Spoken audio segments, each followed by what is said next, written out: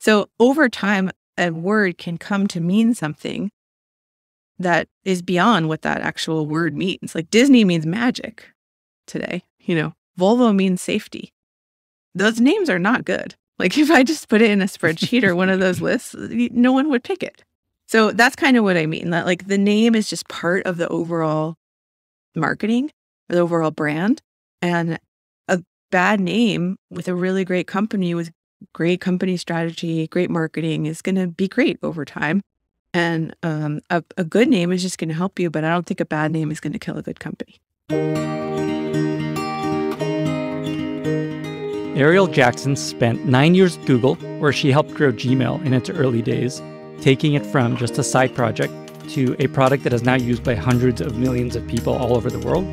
Then she went on to Square, where she was one of the first marketers and helped launch and scale the growth of Square Reader. She's also worked with over 100 early stage companies, helping them nail their brand and marketing efforts, including Patreon, Loom, Front, Eero, Maven, Sprig, just to name a few. These days, she teaches a super popular course on startup brand strategy, and she's a marketer in residence at First Round Capital. In our chat, we cover primarily three things naming strategies for your startup or your product, a framework for developing your brand that includes your purpose, your positioning, and your personality, and also getting PR for your startup. I can't wait for you to listen to this conversation with Arielle. And so, with that, I bring you Arielle Jackson. Hey, Ashley, head of marketing at Flatfile. How many B2B SaaS companies would you estimate need to import CSV files from their customers? At least 40%. And how many of them screw that up? And what happens when they do? Well, based on our data, about a third of people will consider switching to another company after just one bad experience during onboarding. So if your CSV importer doesn't work right, which is super common considering customer files are chock full of unexpected data and formatting, they'll leave. I am 0% surprised to hear that. I've consistently seen that improving onboarding is one of the highest leverage opportunities for both sign up conversion and increasing long term retention. Getting people to your aha moment more quickly and reliably is so incredibly important. Totally. It's incredible to see how our customers like Square, Spotify, and Zuora are able to grow their businesses on top of Flatfile. It's because flawless data onboarding acts like a catalyst to get them and their customers where they need to go faster. If you'd like to learn more or get started, check out Flatfile at flatfile.com slash Lenny. This episode is brought to you by Unit. What did Gusto, Uber, Shopify, and AngelList all have in common? They've all decided to build banking into their product. According to AngelList Head of Product, banking makes every single feature more interesting. With it, our platform functions as financial mission control for our customers. Without it, we're just another software tool in a big, messy stack. Embedding banking into your product not only adds differentiation, but also helps you acquire, retain, and monetize your customers. Unit is the market leader in banking as a service, combining multiple bank partners with a developer friendly API to empower companies of all sizes to launch accounts, cards, payments, and lending in just a few weeks. Unit is trusted by leading brands such as AngelList, Highbeam, Invoice2go, and Roofstock. To hear more about how Unit enables companies like yours to build banking, visit unit.co slash Lenny to request a demo or to try their free sandbox. That's unit.co slash Lenny.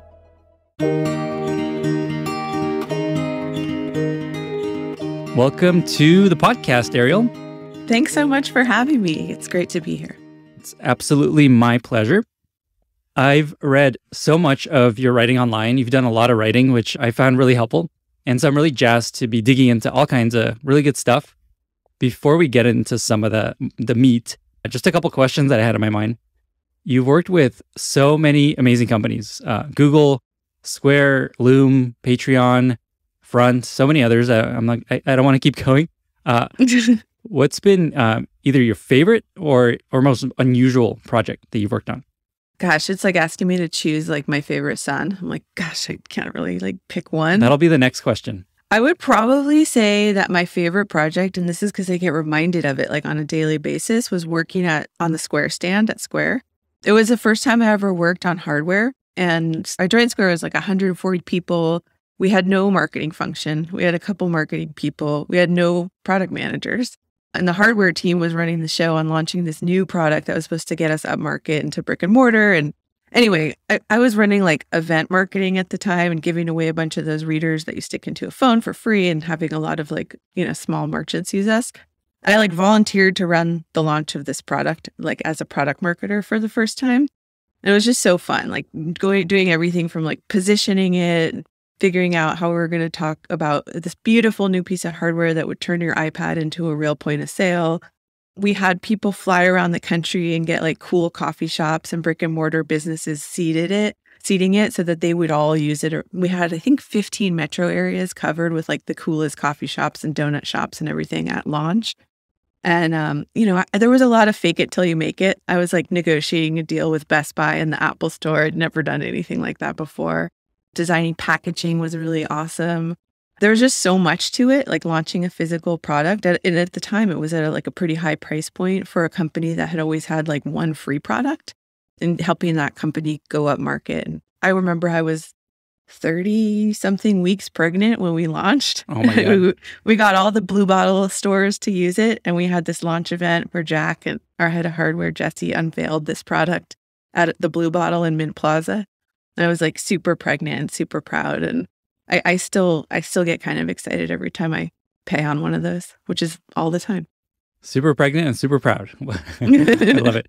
And that product that was like the POS stand, that like the iPad thing that you kind of swivel and sign. Yeah, and there's been new versions of it since. You know, there's a, a contactless version of it, and um, there's one with an integrated screen that I think is Android based, which is, you know, you don't have to have an iPad, but that product's still around. Like I still pay on that original Square stand all the time. I drink a lot of coffee, like those independent coffee shops around LA. So they're all still using it. If you recall, what was kind of the, we're going to talk about positioning a bunch, but while we're on the topic, what was the positioning of that product while we're talking about it? Yeah. So at the time, Square was mostly used by like farmers market vendors and um, event vendors. Like I made jewelry in a past life, and that's how I got to Square was like being one of those vendors. Hmm. Um, and uh, the the positioning was really that it was for brick and mortar businesses, particularly quick serve coffee, you know, donuts, sandwich shops, that kind of uh, quick serve brick and mortars. And it was up against your ugly old point of sale, you know, your cash register effectively. That, that was our foil. And the benefit was turn your iPad into a point of sale. And the differentiator was about one unified experience that you know you're you can do you can do everything you can on your cash register and more and it you'd be proud to have it out on your counter so you said that you were creating jewelry and that's how you got into to square to work on this product uh, i need to hear more about that yeah sure so um, I was working at Google before Square, and I'd always had this hobby of making jewelry. And I used to sell it, my jewelry, in a few different like boutiques around San Francisco and LA. It was like a very small side hustle, but it was like my creative outlet. And I sold at craft fairs around like Hanukkah, Christmas time. So I used to sell and just take cash. And then I got a Square reader and I sold at a craft fair that year and it was awesome. Like that Square Reader, it helped people buy more. It helped me sort of look cool. It was just really great to accept credit cards. I'd never done it before. I used to take PayPal invoices and like be on my computer and like send someone an invoice and they'd get it. It was painful. All the reasons that people use Square, you know, it was, it, I experienced it. And um, two people I knew from Google, Megan Quinn and Kyle Zink, had gone to Square from Google and so after I had that experience, I think I sent them both an email just being like, this thing's fucking awesome. You know, I, I make jewelry. It was great. I sold, you know, I think it was like 50% more than I did last year because I accepted credit cards. And I can't remember which of them wrote back first, but they were like, come interview. And so that was basically how I ended up at Square. Wow. I, I bet that helped you a lot through the interview. Actual personal experience. Having been a, a merchant. I think yeah. it helped me understand the the mm-hmm. small merchant that mm-hmm. initially we were marketing to. And so today you are marketing expert at in residence at First Round Capital. I was going to ask what what does that mean and what is it that you do day to day these days?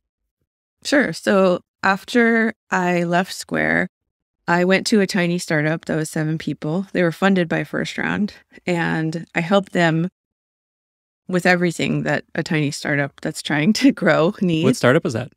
It was called Cover. They were acquired by Twitter. Hmm. It was an Android app that could get you the right apps at the right time based on where you were by changing the lock screen on your phone.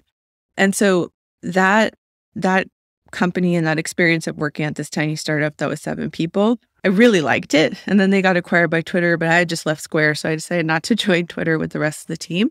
And instead, I just decided I was going to help a bunch of other small startups. And I emailed a few friends who, you know, from past lives who had small startups, which was like, hey, I'm not going to Twitter with the rest of the team. You do need marketing help. And every single person wrote back and said yes. And that's basically how I started consulting. I guess it was about eight or nine years ago. At the same time, First Round had reached out and said, Hey, who did you use for marketing comms for cover? And I got connected with Brett from First Round. And he's like, Would you help our companies? And we did a three month project for one day a week nine years ago. And I'm still there. I work half time at First Round. So I do everything I do for other companies, but for first round companies on first round's dime. So the way it works is if you're funded by first round and as part of your onboarding, we offer a lot of, you know, value add services and I'm one of them. And those services can be everything from we have someone who's really good at, you know, compensation and HR stuff and we have someone who will help you with pricing and I'll help you with marketing. And what that means when you're a seed stage startup is everything from naming to positioning to developing a brand identity, a website, and your initial launch, and eventually hiring a marketer. So that's sort of the bread and butter.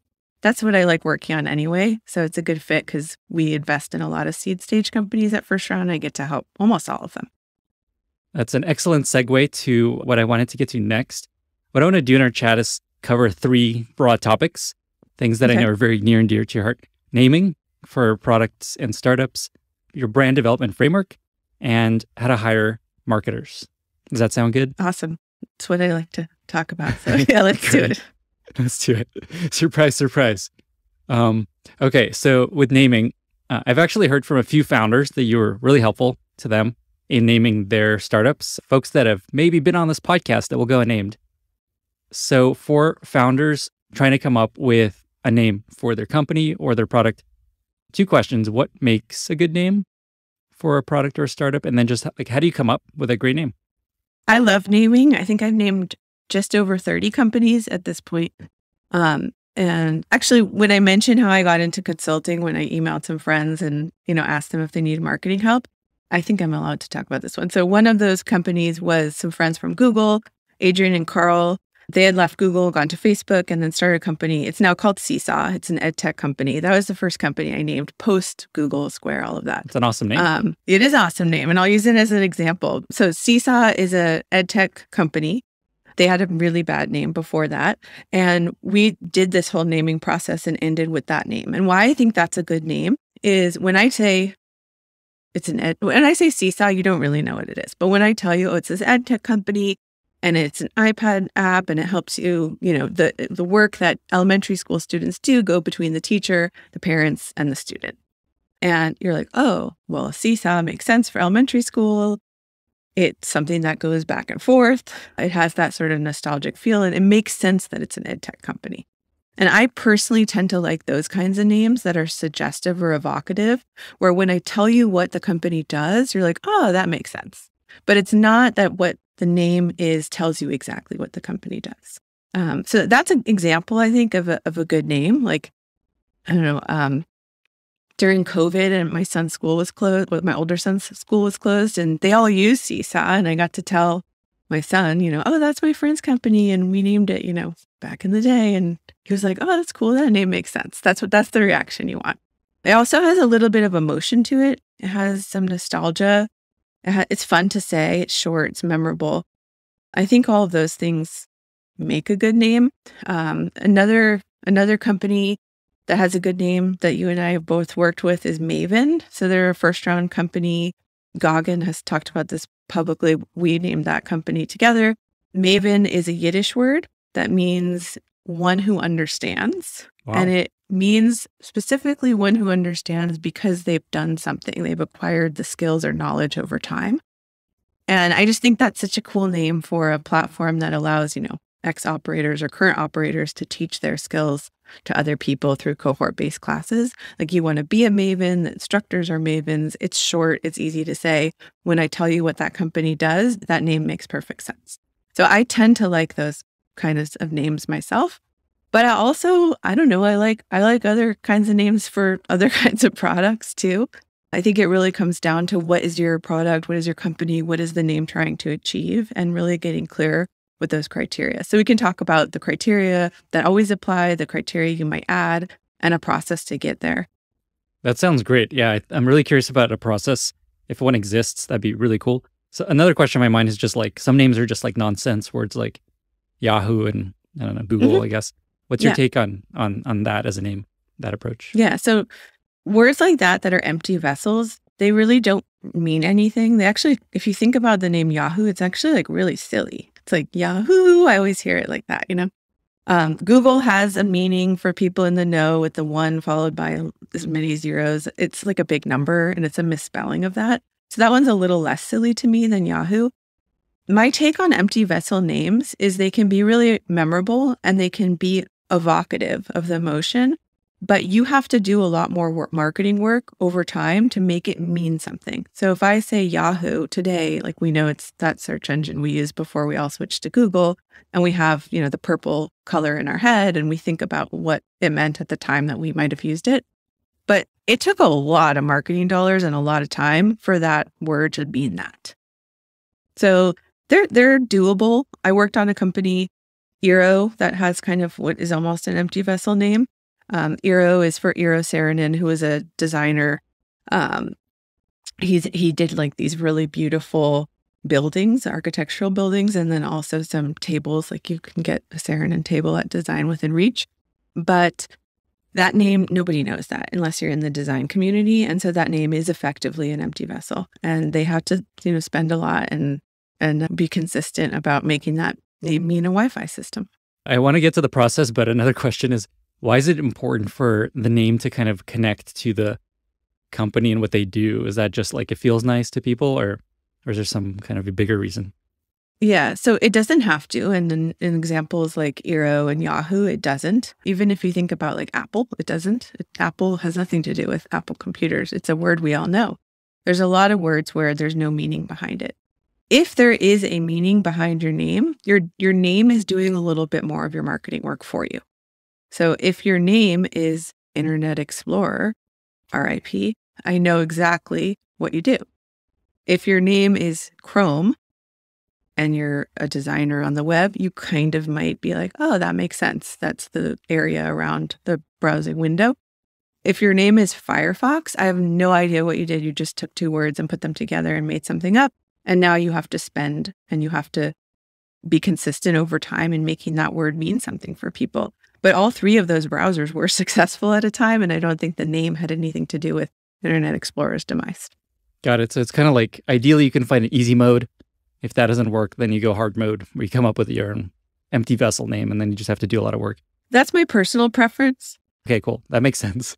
I mean, my personal preference is if you think about there's descriptive names, the Internet Explorer, there's suggestive names like Chrome, then there's evocative names, which I would say like Seesaw and Maven fit into there, where they're not, they're like in between suggestive and evocative. And then there's empty vessel names or fanciful names. There's a spectrum. And when you do your brainstorm, we can talk about like this in the process, you want to think across all of them, but you might have in your naming brief, we want a suggestive name or we want a descriptive name. You might go into it with that. And so, you know, there's there's times and places for all of those names across the spectrum. My personal bias is I tend to like suggested names. Makes sense. Okay, let's get into it. How, what should what should teams do when they're trying to name some? Yeah, so the first thing is to do your product positioning. I really believe that positioning dictates so much of your marketing and should always be the first thing you do. I had a a, a student in my last class that I taught through Maven. I teach a class on brand strategy and he was a, I think, second or third time founder who had never taken a class on brand strategy. He worked really hard. He was awesome. Anyway, in the at the end of the class, you know, kind of do this closing thing, and he goes, "I'll never write a line of code without doing positioning first. And that was like music to my ears, you know. That the that's like I think positioning comes first. But in any case, um, you do that first, and we'll talk about that in a little bit. And then you write a naming brief. And it's really simple. It's like, what are you naming? Are you naming a company? Are you naming the product? Are you naming both? Usually, if you're an early stage company, you're you're naming both, and they're going to have one name because you don't want people to have to remember two things. What do you want the name to communicate? So in that example of like seesaw, we wanted it to communicate, you know, young childhood. In the example of Eero, we wanted it to communicate design, being design forward. It can be whatever you want it to communicate. What do you want to avoid? You know, we, we, we don't want it to sound like this competitor, or we hate this word, or it needs, you know, whatever you want to avoid. What are the names of competitive and related products? And then are there other considerations? Like I worked with a company, another first round company that was operating in China. And one of the considerations was this has to be pronounceable for a native Chinese speaker. Like that's a very valid uh, additional consideration. And then there are seven criteria for names that always apply, in my opinion. And you could add additional ones, like that Chinese speaking one would be an additional one. The seven are trademark, which is kind of obvious. Like, can you use this? Are you violating someone else's trademark? And the second step with trademark is do you need to proactively protect the name? Domain availability. So everyone gets hung up on getting a .com, like maven.com got maven.com. It was a long an arduous process that Gagan wrote about on Twitter. But these days, like you don't necessarily need the dot com. Square operated on Square Up for very, very long time. Lots of companies are operating on variants of a dot com. So, uh, domain availability, distinctiveness. Is it memorable? Is it sound like someone else's name? That's, I think, one of the most important ones. Just is it different and distinctive? Is it timeless? So there's a lot of naming trends. Like if you tell me uh, Optimizely, I could tell you like what year was the company formed when it ends in ly. if you tell me a word point. like Flickr, I can tell you what year it was because that was the naming trend to remove vowels. So I generally stay away from naming trends because I just I, I want your company name not to sound dated in 10 or 20 years. The last one is it's kind of related to that what we talked about in the brief. What do you want the name to communicate? Which is um, is the name reflective of your key messaging, or does it somehow suggest an emotion or feeling that you're trying to convey? And then sound and ease of pronunciation. Like, is it fun to say? Is it easy to say? Is how is it to spell? We almost named a first round company a while ago Lattice which is now a different company that's doing quite well. But uh, we didn't name it that because this was a company that was like B2B sales was going to be like their main channel. So there were going to be like people on the phone being like, hey, I'm calling from Lattice. And we went through this exercise and we are like, lettuce? It's not so easy to say and spell. So we actually didn't name the company that and went with something else. But th- there's a company now doing quite well. Do you think that was the right move? I don't know. I always say a good name is only going to help you, but a bad name won't hurt a good company. So mm-hmm. I don't really feel interesting. Good to know. Yeah. Uh, yeah. Keep going. And then the last one, the last one, uh, last two are appearance. So there are some names that just like lend themselves really nicely to visual design. And, you know, they have to do with like how tall the letters are and is there symmetry. And like if you give this to designers, making a logo just like so awesome and cool and fun and then length. So a lot of people want, you know, they want a name like Square and Stripe and these one syllable names, but a two syllable or even a three syllable name can often be more memorable. Lenny's Lenny'sNewsletter.com. Shoot. Yeah, yeah. Well, so you got the Lenny part with the two, uh, two syllables is generally like a nice sweet spot. Sweet. Have you put out a template or anything that folks can find to do this, or should they kind of listen here and take notes? Yeah, there's an article on the first round review called "Positioning Positioning Your Startup is Vital. Here's how to nail it," and the, all those um, criteria and like how to do naming is is actually in that article. Awesome. We'll put that in in our little show notes. and cool. then as you go through this, is this like a binary thing, or you kind of like rate each of these categories like one to five?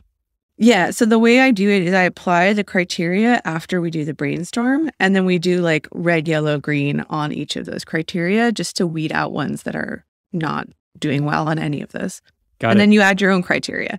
So the brain, the next step's the brainstorm. Um, I'm gonna, I was kind of going to go fast through this. yeah, yeah. I was going to a ask you lot, about the brainstorm. I'm excited to hear this. yeah. So the way the way that I run the naming process is I like to first do positioning, and then I set up an hour with the founders and me, and uh, ideally a couple other people who are interested but disinterested. So like I'll bring a writer from the first round team, or the founder has a friend who's a linguist, or the founder has a friend who speaks four languages. Like we like those kind of people to be in in it if possible.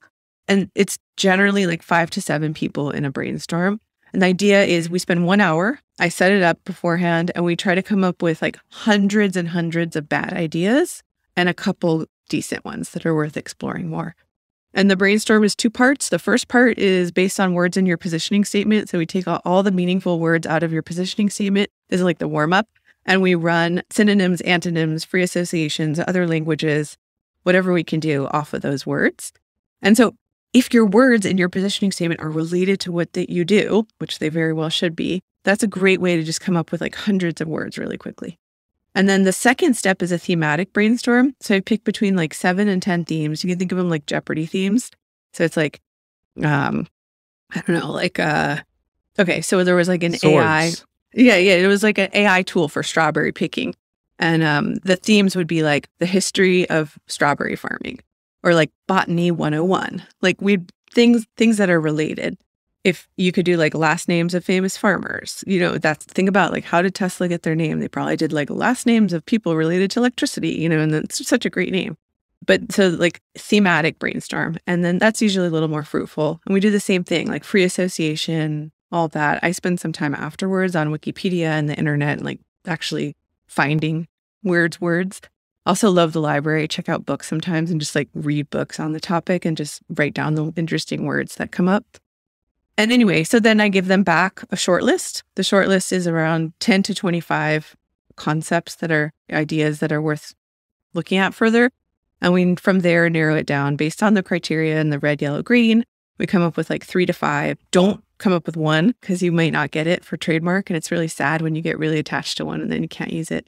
So yeah, three to five top contenders. And then you go through trademark process, uh, domain, and kind of go from there. That was amazing. If you're doing a a startup name versus a product, is the process any different or is it basically the same? No, same. The only difference is if you have a lot of equity in your company name, like I'll, Square is a good example. Like Square had a lot of equity. Google is a perfect example. A lot of equity in the company name. You often don't want to name your products something really creative and different because you actually want the the equity in the master brand to come through. So if you think about Square's names, I mean they they have other ones like when they diverge from the Square brand, like Cash, or you know the, the, when they want something new, or like Google when they came out with Android and they wanted to diverge from the master brand. But think about all the products. It's like Square Register, Square Stand, Square App, you know, Google Maps. You know, they're they're like really boring, and it's because the equity is in the product in the company name, and the product name can actually be boring and descriptive. That makes sense. I want to come back to a point you made that a, great name will help a startup and a bad name is is not going to hurt you or I forget the word you use. I love to Mhm. hear that because that's that's really interesting. Yeah. So if your company has a great name and the name is remarkable, like people will be like, oh, that's a great name, or it just makes sense. Like in the case of Seesaw, like oh, that's a good name for that company. That good name is just going to help people talk about it. It's going to spread word of mouth. People are going to like to talk about the company. If you think about, there's a lot of companies with bad names that we use all the time, or even quite boring names that we now love. So if you think about like Disney, Walt Disney's last name. It didn't mean anything, but over time, that's such a good company and it got imbued with all this meaning and now it stands for magic and stands for so much, but it was just the dude's last name, you know? So over time, a word can come to mean something that is beyond what that actual word means. Like Disney means magic today, you know, Volvo means safety. Those names are not good. Like if I just put it in a spreadsheet or one of those lists, no one would pick it. So that's kind of what I mean. That like the name is just part of the overall marketing, the overall brand. And a bad name with a really great company with great company strategy, great marketing is going to be great over time. And um, a, a good name is just going to help you, but I don't think a bad name is going to kill a good company. So interesting. So basically, your goal is to help find a name that will help. Uh, worst case, you're going to be okay if your product is awesome. I think so. Yeah. I mean, it it also takes a little of the pressure off, to be honest. Mhm. You know, like Yeah. everyone wants to find that perfect name. If you Mhm. actually think about and this happens a lot. Like you give someone a list of 10 names or 15 names, and they're just cells in a spreadsheet these days. Like we're doing most of this virtually. You give people a name like that, and it's like you have to imagine what it could be. You think about Apple or Disney or Nike or Volvo or any of Lego, any of these brands, you know, in a cell spreadsheet in plain Arial in 10 point. Like they're just okay. Like they're, you know, you have to grow them over time. You just hear about like um I think Phil Knight with with Nike when he was given that name, like as a as an option, he was like, It's okay. You know, I'll sleep on it. Such a great name, you know? This makes me uh, think about my startup back in the day. It was called Localmind. And we went through an exercise similar to this, not nearly as in depth and, and well run. But I remember our designer was the person that helped us nail the name. He's just like, oh, I could do so much with this name. Let's just see where this one can go. Is that something you find? Yeah. Yeah. I mean, there's definitely been bad names. Like I helped a company rebrand recently that they had a bad name. Like it just looked dated. It didn't fit any of those. It wasn't distinctive. It wasn't timeless. It had one of those like naming trends. Those are not good. Like you want to avoid those. But if you come up with something that is like pretty good and you can make up something beautiful out of it and it fits your company, it does some of the marketing work for you, and people like to say it, and ideally it's memorable and it has some emotion to it, like go, go for it. Awesome. One last question around naming. What's a what's a common mistake that people make going through this process, coming up with a name? Yeah, a really funny one is if you have like a code name for your product, or at first round, a lot of the companies we invest in, they they they raise their seed round with one name. They may or may not be attached to it, but then you know they work with me, and I'm like, yeah, your name's not that good, and here's why. We should probably change it. Or they say we can't use this name. We found out we have a trademark conflict. I really believe in using a code name that's so ridiculous that you won't ever launch a product like that if you're just trying to incorporate and go really quick. So for example, a lot of people they, you know, they need their name for their their incorporation and so they are filing you know all the steps to creating a business and they just like pick something but then they end up getting attached to it and then they want to actually like launch under that name and it's like, well, that's not so great. Like here's why I think you should change it.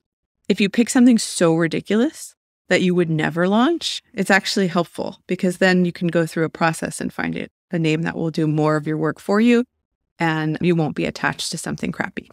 Such a good point and idea. And by the way, so if you're a first round company, you get this naming service for free and all these other things we're going to talk about, just to be clear. Yes, that's right. Oh my God. I could do a whole episode about how much I love First Round, but I will say I'm a huge fan. Uh, I think I've participated in every program that First Round offers. The First Round review is actually one of the first pieces of writing that kind of helped spur my now career. And so I'm really. I remember that article. It was awesome. mhm. And then I did two more after that. So much work, but yeah, that was a big deal. so I'm really appreciative to First Round. So, and we could talk about First Round a bit at the end too. Sure. Yeah. It- it- everything we're talking about that you've asked me so far, I think that you're going to ask me about like um, positioning and hire your marketing person. And all of that is stuff we offer to first round companies. We offer my services as part of the investment. There are times when we might get stuck and we have to bring in like an outside person to help us with something. But for the most part, it's all included. And, you know, you'd pay a lot of money. I, I the naming firm I like the best uh, when I get stuck, it's called 100 Monkeys. They're awesome a long time ago, I used to be like, oh yeah, it's about twenty five thousand dollars, and I recently got couldn't take on an outsider first round project and referred it to them. It's forty seven thousand dollars for a name. Wow. So yeah, it's gotten expensive. But if you have the means, it's nice to get some outside help. Hashtag value add. Okay, I want to transition to your brand development framework, which I read a bunch about. And I know you teach a course about this, which we could also chat a bit about. But first, I'm curious, just like practically, what is the, why is a brand useful? Why is it even something people should spend time investing in? Why does it matter? Okay. So a lot of founders may think that when we say your brand, we mean your logo and your font and your colors. And that is a visual expression of your brand, but it's not actually your brand. Your brand is who people think you are. And so, why is it important for people to think what you want them to think? Um, that, that really comes down to like people's understanding, and particularly your target audience's understanding of what your company and your product is. And I don't really think there's anything else more important than that if I was building a company. So, your brand is who people think you are, and developing a brand strategy is what do you want to be? What do you want people to think you are? And what are you going to do to help shape that perception? So, when I work on a, a company, there's a lot of steps to this, but I kind of have this nice little process that's like right sized for early stage startups.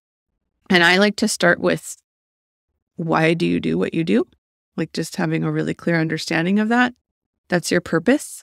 The second part is your product positioning. So, meaning, how do you want people to understand your product and what role it plays in their lives?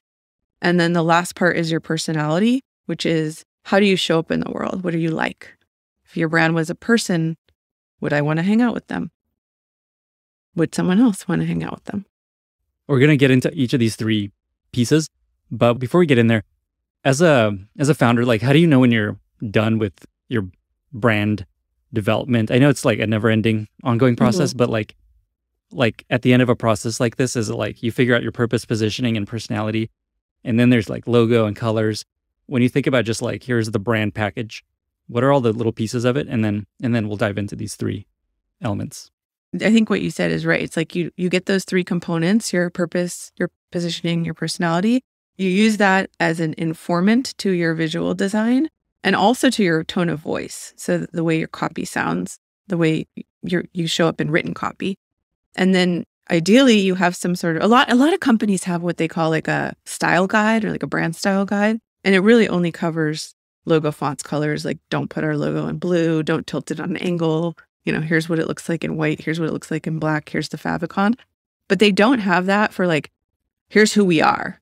Here's, you know, here's 10 lines that could be ad copy for us. Here is why we do what we do. This is the personality of our brand. Here are five attributes. You know, we are playful but not silly. That, that we can talk about that a little bit more. But like I think all of that belongs in the style guide, not just logo font colors which is really just an, a visual articulation that that feeds into your brand. I was I'm a big Volvo fan. I'm on my fourth Volvo right now. So I'm like super cool. brand loyal. And I always use them as an example because if you can picture the Volvo logo in your head right now, it kind of looks like the male symbol, you know, like it's like a circle with an arrow coming mm-hmm. off the mm-hmm. side. Mm-hmm. There's nothing about that logo that means all the things I like about Volvo, all the things that the Volvo brand has come to mean to me and their colors, they're like black and white and a little blue. Like there's nothing more boring than their color palette. And so like it's not the logo and the font, the colors of Volvo that has made them mean they literally like own the word safety in cars right now. It's other stuff. And if you looked at their style guide, I actually looked at their style guide recently and it's just like here's our black and our white and our blue and here's our tertiary colors and here's our logo it would not help you understand Volvo as a brand. I'm guessing some of that happened because they've evolved over the years and it's probably a very different initial brand. So it kind of tells me that it's more important to have a, a logo and a brand that can kind of represent many things that isn't like so stuck in a certain positioning, maybe. Does that resonate at all? Yeah, their logo has to do with a very early history. They had I, I like research this because I like hmm. nerd out on this stuff. You know, um, they had some early history as a ball bearings company, and so I guess that logo had some meaning then, but it wasn't so descriptive to being a ball bearing company that they were able to keep it as they evolved into a car company. But if you look at like their early writing, it's so cool. Like it's so cool. Like long, long time ago, they would talk about cars are driven by humans and our job as a car manufacturer is to protect the humans who drive the cars. Like that was like fundamental formation of the company. So they really knew why they existed. And then they did stuff like in like I think it was like the 1950s when everyone just wore lap bands in the car and they came out with the three-point safety harness and instead of, you know, patenting it and like licensing it, they gave that away for free for everyone because that would make like all the world's cars safer. And like those kinds of company decisions, that's what made Volvo stand for safety. It's not the logo. Mm hmm. very interesting. This episode is brought to you by Athletic Greens. I've been hearing about AG1 on basically every podcast that I listen to, like Tim Ferriss and Lex Fridman, and so I finally gave it a shot earlier this year, and it has quickly become a core part of my morning routine, especially on days that I need to go deep on writing or record a podcast like this. Here's three things that I love about AG1. One, with a small scoop that dissolves in water, you're absorbing 75 vitamins, minerals, probiotics, and adaptogens. I kind of like to think of it as a little safety net for my nutrition in case I've missed something in my diet.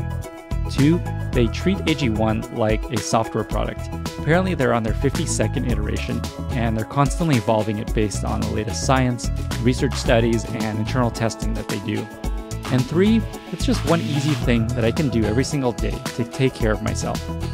Right now, it's time to reclaim your health and arm your immune system with convenient daily nutrition. It's just one scoop in a cup of water every day, and that's it. There's no need for a million different pills and supplements to look out for your health. Make it easy, Athletic Greens is going to give you a free one year supply of immune supporting vitamin D and five free travel packs with your first purchase. All you have to do is visit athleticgreens.com slash Lenny. Again, that's athleticgreens.com slash Lenny to take ownership over your health and pick up the ultimate daily nutritional insurance. One question on my mind before we get into these three elements. Last question, kind of setting context, mm-hmm. is if I'm like a non-founder or a PM, I'm just like, oh my god, a branding exercise is going to take months, it's going to suck up all these resources. Mm-hmm. I don't know mm-hmm. what it's going to do for us. What are what kind of time frame do you recommend for early stage companies to go through kind of a branding exercise and go through something like this, and and maybe even later stage, just like what's what's reasonable? Yeah. I mean, it depends on the stage of your company and how much you have already that you have to kind of like, it's hard for people to scrap what they already have. There's a lot of like sunk cost fallacy type stuff going on. If you're starting from nothing, I think you can do this in like three weeks. If you are starting the naming process itself, because of trademark and domains, can take a little longer. When I name companies, we usually, it usually takes about a month just for naming. But like the whole brand strategy process you could do if you're like a you know really early stage company in a matter of weeks. And i think whatever time it takes you actually is going to save you so much time down the road.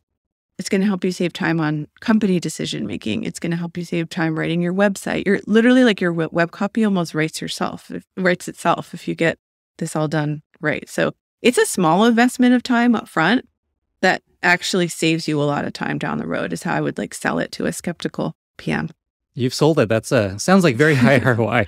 Let's get into high it. High ROI. So purpose is the first piece. What is that? And then what are some examples of really good executions of purpose that you've seen? Sure. So your purpose is why you do what you do. It makes people want to root for you.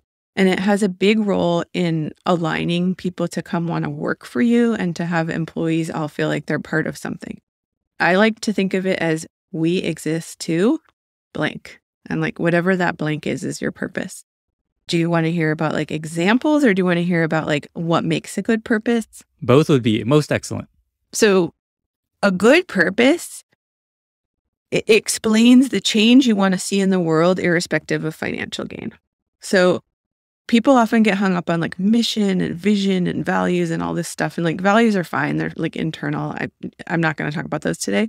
But I don't care about mission and vision. I just want one thing because people can only remember one thing and it's your purpose and it's why you do what you do. And when you articulate this really well, it helps you make company decisions. It exists on a 10 year or so frame. So everything we're talking about with product positioning, it's pretty malleable. It exists on like an 18 month frame if you're an early stage company. So it can evolve.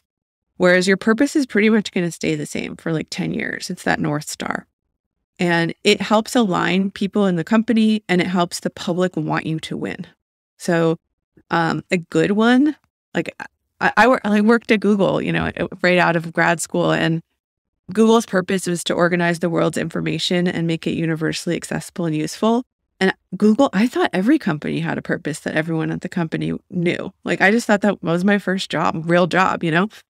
it turns out that's not true. And Google's actually been amazing at this. Like, if you, I had a person in my last cohort who had recently left Google when they were like, I don't know, 80 or 100,000 people. He said everyone still can say that. Like, that's amazing. But I joined, it was like 1,400 people. And by the time of your first day, you already knew that. Like, it was part of your hiring process, it was part of your onboarding. It was in your like offer letter. It was it was everywhere. And I just thought that was like really cool and a good purpose. Um, one that is kind of related to financial gain, but I still think is cool is Stripe's, which is to increase the GDP of the internet. I think that's like really well said and cool and just like gets you thinking about the internet as a country. And I don't know, it's, it's like really, um, if you're an internet person, it makes you want to root for, for them. Um, Yeah. Nike's is awesome. Nike's is uh I wrote Nike's down because I don't remember it. To bring inspiration and innovation to every athlete in the world. And if you have a body, you are an athlete. hmm Like it's not just about, you know, LeBron. It's about me and like how was my Peloton ride this morning too. So those are some famous companies. I could tell you a little bit about some that I've worked on that I think are pretty cool that are like companies you may not have heard of yet, just because sometimes we get hung up in like thinking Stripe and Nike and Google are awesome names because of all the meaning we have behind them. And I, I want to talk about some companies you may not have heard of because you can have a good purpose and not be Stripe and Nike and Google. Yeah, that'd be awesome. And and by the way, is the purpose should it be like a sentence? Is that the general Yes. guideline? Yeah. Great. So you, I want you to, be- you can introduce yourself at a conference, like you're the keynote speaker at a conference, and I want you to introduce yourself, and I want you to go, "Hi, I'm Lenny. I'm the founder of company X, and we exist to blah," and say it, and like have that feel natural, Awesome. and it should make people want to hear what else you have to say. And the other thing it should be able to do is be the header for your about page. So meaning we exist too, blah blah blah blah blah, but you would just take out the we exist and say the verb start there. That could be the header Awesome. for your about page. So one company I worked on, first round company, they're called LogicLoop. And it's an operations automation company. You can think of it almost like um, you know, stuff like a no code, low code platform to automate a lot of the operations data based work that people have to do. And we did this whole brainstorm, and I really like their purpose that they, you can look at their about page, it will be right there. It's to make operations data work harder than operations people. And if you ever have worked in operations or have friends who have, like they work really, really hard and it can be kind of thankless. So it gets anyone in that field to root for you. Like your data should be working harder than your operations people. That was a fun Disclaimer. I'm an investor in LogicLoop, and I love that you worked with Oh. them. Cool. Awesome. And then another one that I worked on for another first round company, they're called Woolf. They're informed by the UC model where there's a bunch of individual schools that all exist by themselves, but they get something from being part of a larger organization. And what they do is they provide accreditation through being part of the larger Woolf, but you know, a larger Woolf University, but every individual college can still operate as their own independent college. And so their purpose is to increase access to world class higher education and ensure that it is globally recognized and transferable. So, this idea of, you know, you should be able to take a class from the best instructor online and then go travel to Australia and take a class there and then go to China and take a class there and get the best education that the world can offer. Another one that I worked on a while ago is Alt. So Alt, Alt I think they've recently gone through a, a little bit of like a rebranding, but theirs was to increase the transparency and liquidity of alternative assets. And in their case, the the the product positioning was really about like making sports cards as easy to invest in as stocks. So the idea of alternative assets in this case are not like private equity and hedge funds and real estate, but alternatives to alternatives like sports cards and Pokemon cards and art. Awesome. Those are so many awesome examples. That's going to be useful for people to wrap their head around what a purpose might be. Execution wise, do you just kind of open up a Google Doc and just start writing out ideas and brainstorm a little bit and just kind of keep refining with your team? I actually stole this exercise or borrowed it from Ogilvy. Uh, that I actually think adds some structure to that. If you do it that way and it works for you, that's awesome. But if you want to go and go through a process to get there, what I like to do is list all of the cultural tensions that are happening in the world that are relevant to your business first. And so for alt, that would be things like there's an increase in interest in alternatives. People are nostal people who are now in their 30s are nostalgic for things that happened in the 90s. There is at the time really low interest rates and people are not getting any sort of like edge off of investing in the things that their parents used to invest in. So those would be like examples of cultural tensions. Um, cultural tensions are zeitgeists. They're things that your audience might be thinking of. They're things that they may be even subconscious to them. They're current events. So you make a long list of all of those. Then you make a long list of all the ways that you might describe your brand's best self. And this is related to your product positioning, but let's say you haven't done it yet. So just think of it as your brand's best self. How would we want someone to describe us? When everything works perfectly and our product really delivers, what does it deliver? And again, like bullets, just ways that you would talk about that. And then you pick one from each side that's really the best articulation of what's happening in the world, what your product delivers. And with that context, now you're primed. With that context in mind, now you do the brainstorm of we exist to, let me finish this sentence. And even before you get there, sometimes it's helpful to do the world would be a better place if. So for my company, the world would be a better place if, and finish that sentence and then go into the we exist too.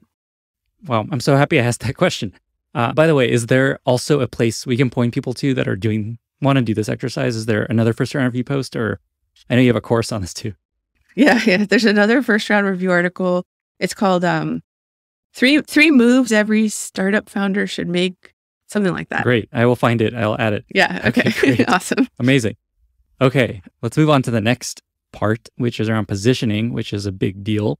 First, just like what is positioning? And then I'd love to know just like what tells you you may have a positioning problem. That's something you should really focus on. Okay. So, positioning is the space that you occupy in your target customer's mind and everything you can do to influence how they describe your product. Um, you know you have a positioning product problem if I ask 10 of your customers or 10 of your employees what the company does or what the product does, and I get multiple answers. And unfortunately, that's the case for most companies. It's okay if the answers are like tiny, slight variants on the same thing, but I have actually done this with some later stage companies where got my first step is often I go in and I interview 10 people. And the 10 people are, you know, everyone from execs to like people who talk to customers to a few customers. And when you get 10 people saying 10 wildly different things, you have a positioning problem. Other ways you might know that if you have a positioning problem is uh, if you can't explain what you do to me in like a sentence, that, that that's you have a positioning problem. That's a high bar. Yeah, it is. And I used to, when I first started consulting, I would spend the first meeting with a founder just like totally cold. Hey, tell me about your company. And they would take 30 minutes to tell me about their company. And at the end of 30 minutes, I would pretty much get it. But it always took the first 30 minutes. So now when I engage with a new company, I have them fill out this little worksheet beforehand. And one of the questions is like, what do you do? And they have to write, you know, in a box that's kind of like paragraph length. Clever. And then we go, I go in and I ask questions about that. And ultimately we get it to sentence length. Amazing. Okay. How do you go about figuring out your positioning? Big question. Yeah. So um, I start with your audience. Uh, who who is this for? And we really think about like what's the broadest set of customers or users that you might have and narrow in from there to a target audience, which is who are you outwardly going to try to acquire for the next 18 months? You can think of it like concentric circles. The biggest circle is like your TAM. As you get smaller, there's like five parts to it. So the biggest circle is circle one, circle two, circle three, circle four is your target audience. All of the circles have to be contained within the bigger circle.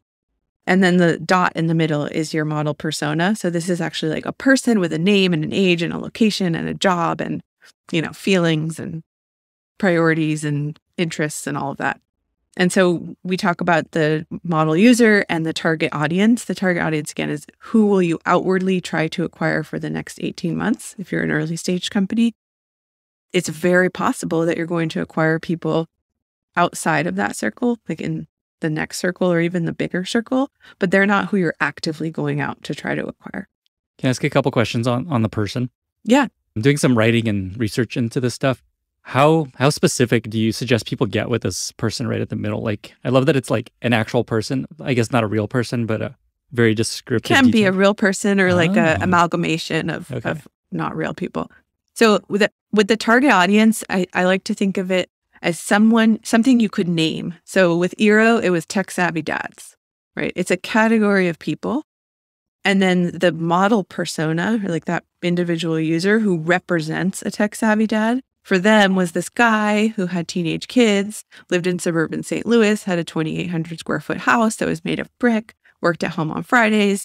His kids were into gaming. He was the VP of sales at a company that was like tech adjacent, but not tech. He was more of like a tech enthusiast than a actual like software engineer. We knew a lot about him. Like I could tell you a lot about him. It's kind of robust, but tech savvy dads was the way to represent him and all of other people like him.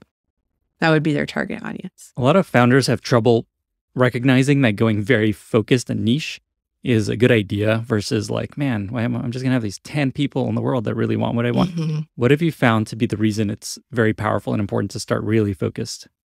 Yeah. So when you are an early stage company, the worst thing you can do is try to be everything to everyone because you don't have enough runway and even like Uh, you just don't have enough of anything to do that successfully. The best thing you can do is find an audience that is big enough that if you dominate dominated, if you got to significant market share among that audience, you would be a giant business. And tech savvy dads is a pretty big audience. Also, that's just who you're outbound going to try to acquire for the 18 mo- next 18 months. It does I'm a tech savvy mom or not I live with a tech savvy dad. I have an Eero system, you know, it doesn't mean everyone you'll ever acquire must be in that audience. It means that is who we're focused on acquiring. Awesome.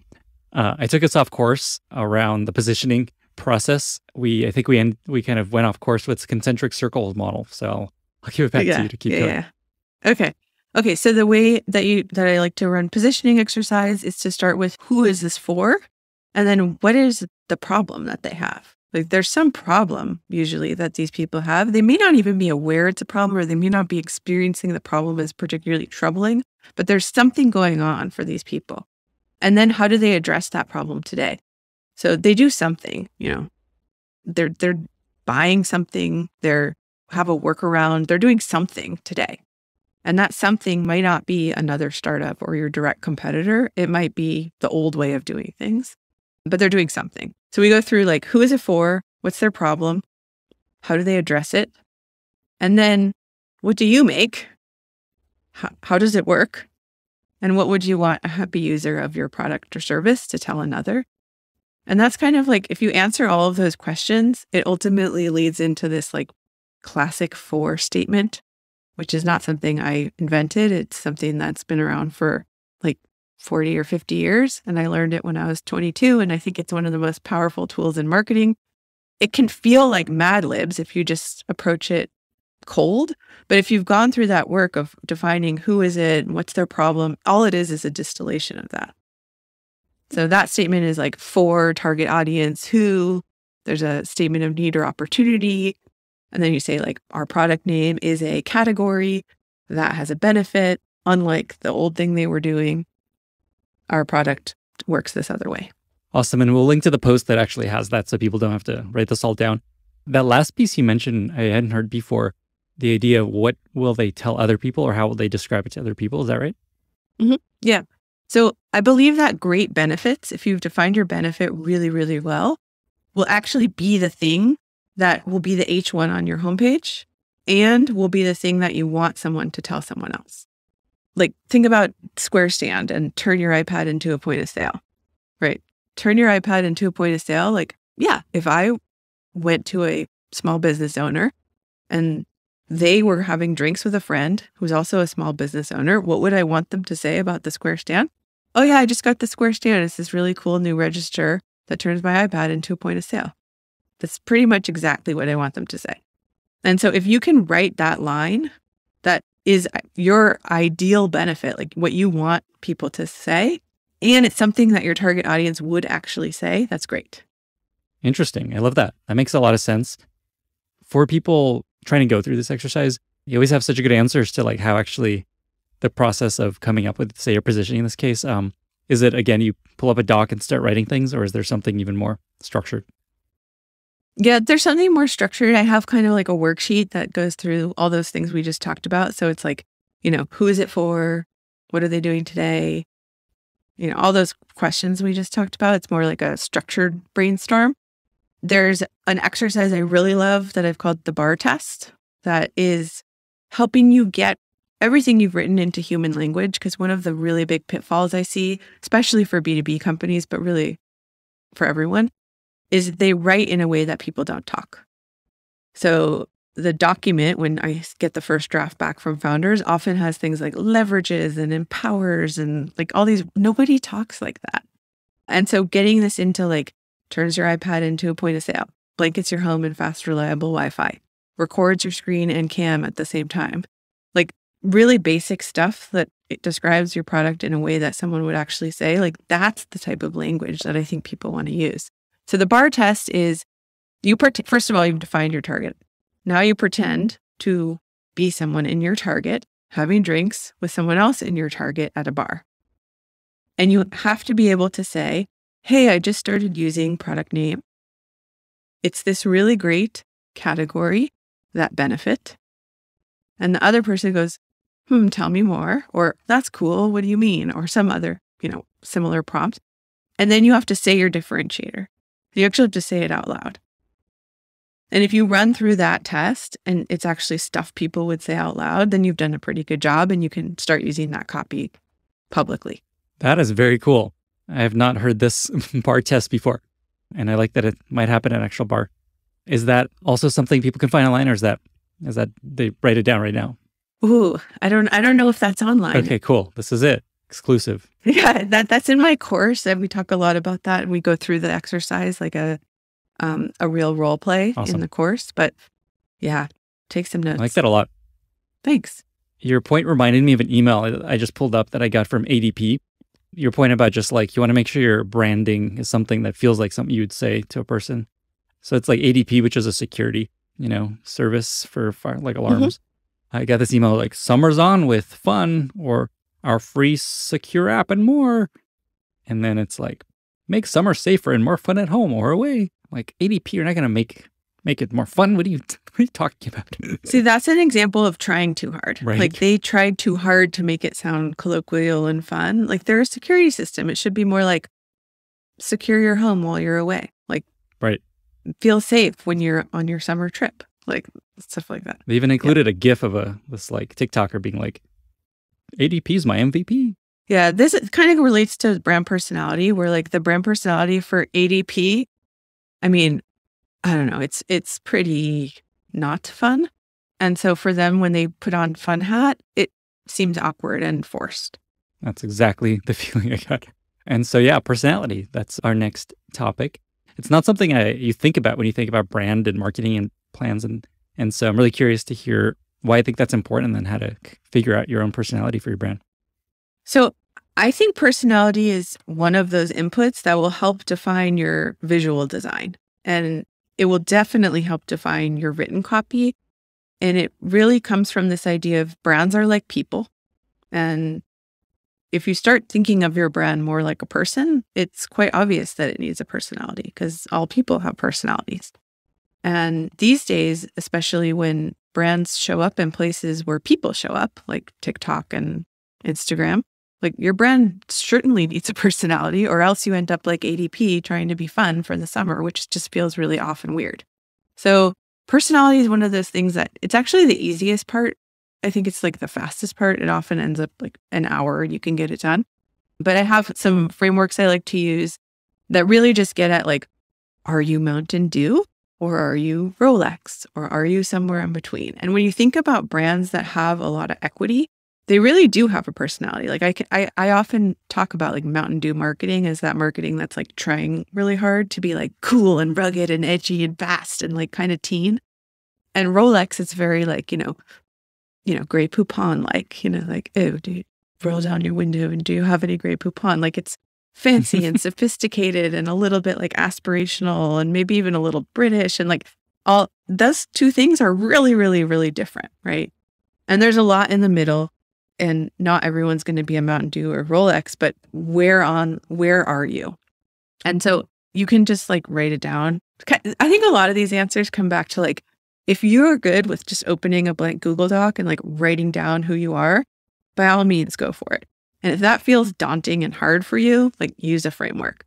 And the framework that I like to use has two parts. The first part is based on some academic research by Jennifer Aaker, and it basically analyzed the top brands in the world and figured out that all brands can be segmented into five dimensions of brand personality, and that really strong brands spike in two of the five. So the five dimensions that she found were sincerity. So this is like, is it down to earth and honest? Excitement, it's spirited. This is a Mountain Dew thing. Competence, reliable and intelligent. Sophisticated, sophistication, which is charming and upper class. And rugged, outdoorsy and tough. So sincerity, excitement, competence, sophistication, and ruggedness. And going back to those two brands we just discussed, Mountain Dew is rugged and exciting. Rolex is sophisticated and competent. And you can do this with like any brand you admire or just think about brands you like and kind of deduce them to their two of those five. So that's the first step. Which two of those five are you going to spike in? And it turns out a lot of tech companies end up spiking in sincerity and competence, just usually does happen that way. Amazon is sincere and competent. Google is sincere and competent.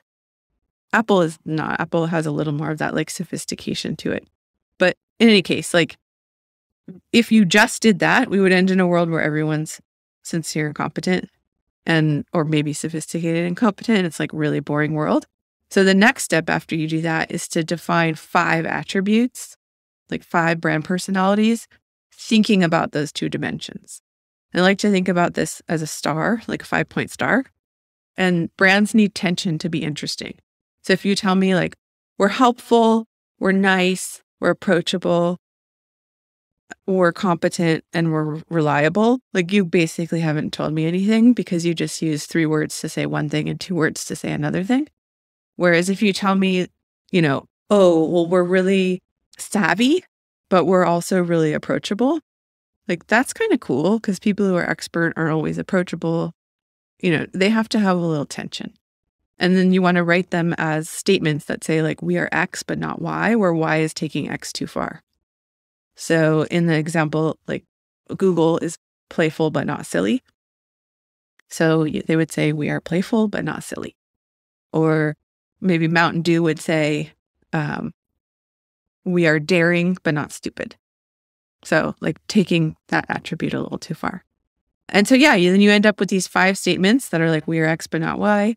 And those are really useful in informing how you write and maybe even like what your visual design would look like. And certainly what like your illustration style, photography style, ad copy will be like. Once you've gone through that exercise and in maybe all the other the other two pieces, where do you put this? Is this just like in a doc that, that's like, here's our brand overview, here's our personality, here's our positioning, here's our purpose, and and then you refer back to that whenever you're designing and putting together strategies. That is that how it works? I mean, yeah, you could do it that way. That's definitely one way of doing it. That's a good start. I think that one other place where it shows up, like we talked about that visual style guide that everyone has that they give to like an agency or copywriter who's writing on their behalf. I think these should all be inputs into that doc that you end up sharing.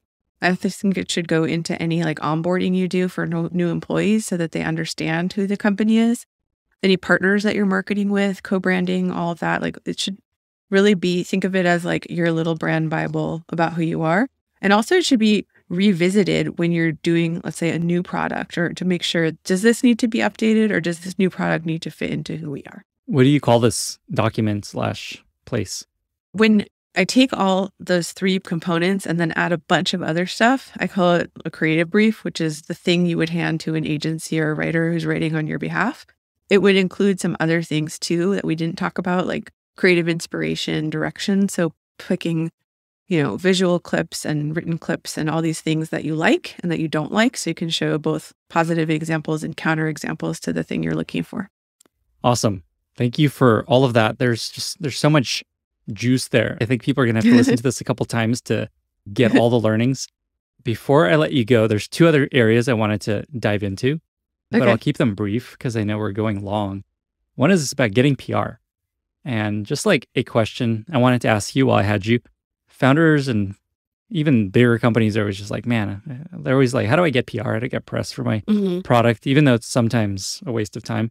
Do you have just any tactical advice for startups hoping to get some PR?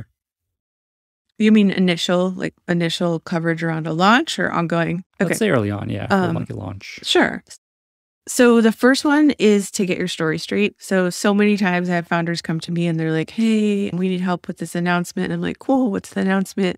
And back to the 30 minutes until I understand what the company is. So if you can't describe it to me in a sentence, your reporter is certainly not going to understand in a sentence and they won't be able to describe it to their audience in a sentence. And so really getting your story straight, all the stuff we talked about specifically around product positioning is so key almost always when someone comes to me and says, I'm ready to announce, we go back to positioning first. Um, also, make sure that your website is ready for like the traffic you're going to drive to it, that you're not driving traffic to a name that you're going to later scrap. Like, are you really ready for this? So, all those go back to all the other things we discussed first. And then having realistic expectations about the outlets that will cover you and the time it will take to get them. So a lot of people will be like, I'm I'm launching next week. And it's like, well, cool that you're doing that, but no reporter is going to cover you next week. It just doesn't work like that anymore. Five years ago, eight years ago, founders could really dictate the date of a launch announcement. They could brief three to five outlets under embargo, which means like you all can't tell our secret news until we tell you at this time you can publish. And at that time, three of the five would all file a story and write. And it just doesn't work like that anymore. These days, for early stage startups, we're almost always running the launch announcement as an exclusive, which means you give the news to a single outlet and they're the only ones who get to write about it. You can obviously still do all your own owned and operated stuff, your blog, your social, your investors, your friends and family, but they're the only like news outlet who gets to write about it. So having expectation that like this is probably going to be an exclusive, it's harder than ever to to secure funding for a seed stage company.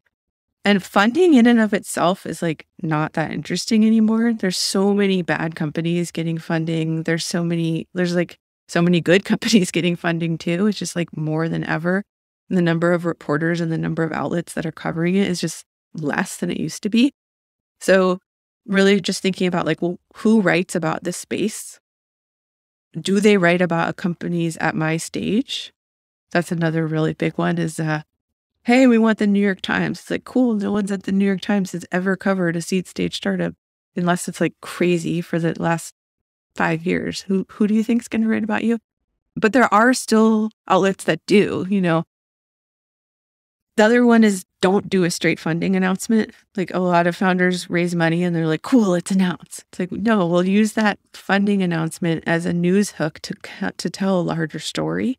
The larger story might be your product's available, you have reference customers, you have momentum, you have some great partnership that you're announcing. There's something else going on, not just your funding. Then using your funding as part of that initial launch is great, but what else are you announcing? The last thing is really about making what you do interesting and relevant so that it's not just interesting and relevant to you and like the three other people who work there at the time, but interesting to all the readers of whatever outlet you're trying to target. And so um, an example of that is I worked on this company, Vitable Health, and the founder, Joseph, he created a product for hourly workers that their employer would buy, and it costs like $50 per person per month. And what it does is it provides urgent care and primary care to these hourly workers who make too much to qualify for Medicaid and too little to pay their health insurance premiums. And so, primary and urgent care for hourly workers. And we tied it into this idea of the great resignation and small businesses not being able to hire hourly workers, which was like a big trend, you know, end of end of 2021.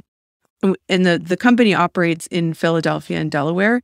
We were actually able to get him like the Sunday after Christmas Philadelphia Inquirer story, but it was all about making this daycare and this restaurant in Philadelphia into heroes because they offered this cool benefit to their hourly workers.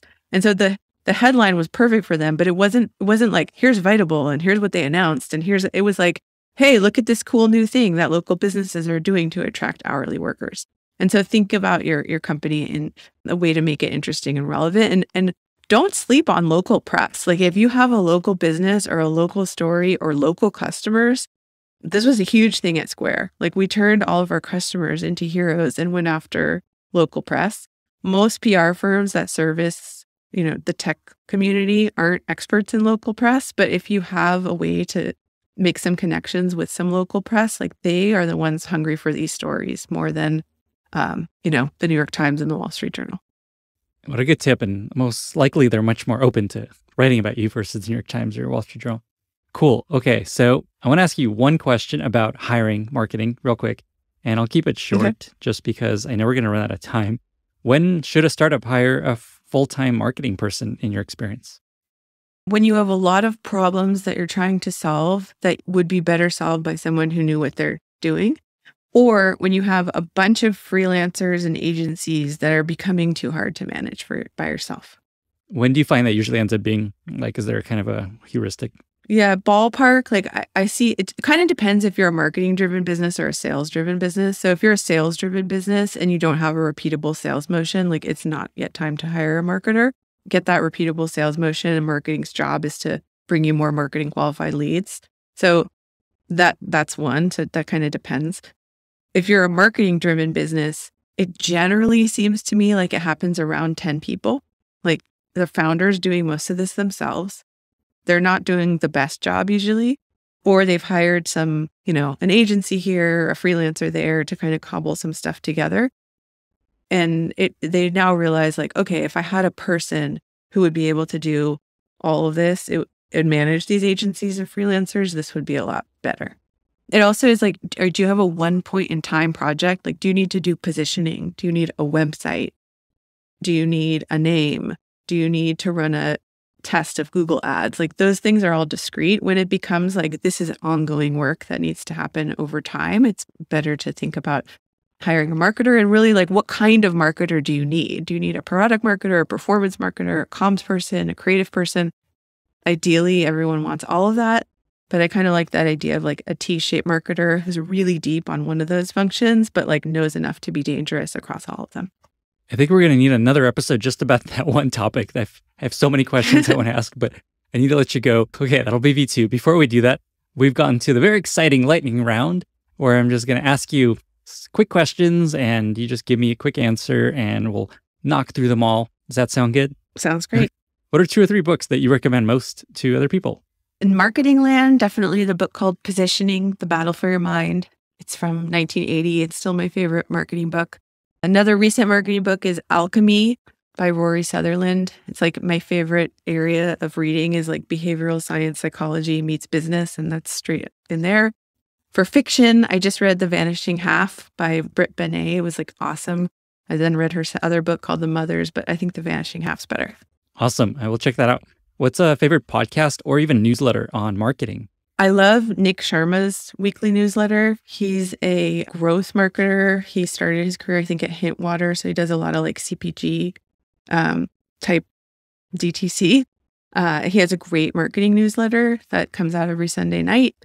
Um, on podcasts, I love how I built this. I know that's already really popular, but I love that one. It's not really marketing, but just like general business. The first round podcast in depth is pretty great. Lenny's podcast I've been listening to is awesome. and then my friend um, Jasmine from the Concept Bureau has a marketing podcast called Unseen Unknown. And it's kind of about like culture and and branding and how these things in society and trends. It's not like straight marketing. It's kind of more of like the culture and sociology that informs marketing. Wow. Uh, that is a lot of good stuff. What's a recent movie or TV show that you've loved? This is more embarrassing. Like, how many movies have you seen in the last year? Just curious. Uh, me, uh, like a lot. Yeah, yeah. Unlike you know streaming services, way too many. Also, if that's what you're where you're going, or have you seen none? Well, I've seen like maybe four, okay. and they're probably all on Disney Plus. You're winning. So that's excellent. I would say, um, like I really like some of those Disney Pixar movies. Luca, uh, Encanto. Those mm-hmm. were all really great. I mostly watch movies with my kids, but I'm pretty excited. I, I, had a celebrity crush on Anthony Bourdain, and I'm excited to watch his new documentary if I ever get around to it. Mm-hmm. And um, TV shows, I'm like equally bad. Okay, great. There's this little Netflix show called Old Enough. It's a Japanese show with subtitles about sending toddlers on errands in Japan. They like go by themselves. It's 10 minutes. They're awesome. My whole family watched them together. It's really cute. Old enough. I'm going to check that out. Okay, two more questions. Favorite interview question when hiring a marketing person? It's probably tell me a project you're proud of. Tell me about a project you're proud of. Uh, it's just really open ended and get to hear a lot about a lot of things that way. And then maybe runner up is like, tell me about a campaign you recently come across that you were not involved with that you thought was cool. Mm, love that. Okay, final question. Who else in the industry do you most respect as a as a thought leader? In the marketing industry? In the marketing industry, yeah, sure. I guess like old school thought leaders, um, David Ogilvy, Rory Sutherland, Seth Godin, uh, new school thought leaders. We mentioned Nick Sharma.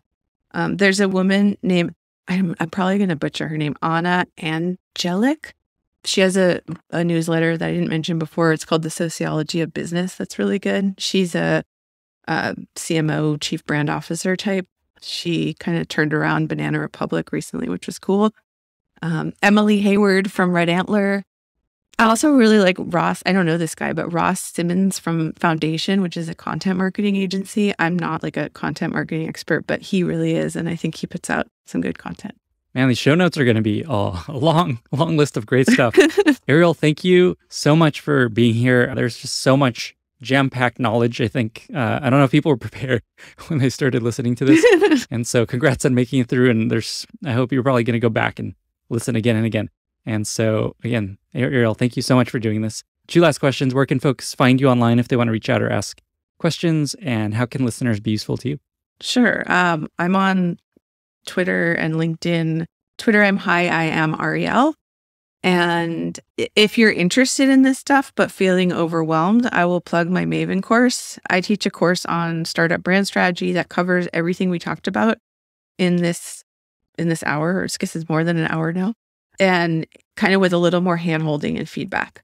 So it's a crash course on all this stuff. The four founders that takes two weeks, and you go through all of this. And that next cohort of that, I think we're on cohort four, will be this fall.